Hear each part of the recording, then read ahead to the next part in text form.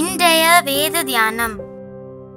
ரோமர் அதிகாரம் பதினைந்து வசனம் ஆறு. பொறுமையையும் ஆறுதலையும் அளிக்கும் தேவன் கிறிஸ்த இயேசுவினுடைய மாதிரியின்படியே நீங்கள் ஏக சிந்தையுள்ளவர்களாயிருக்கும்படி உங்களுக்கு அனுகிரகம் செய்வாராக.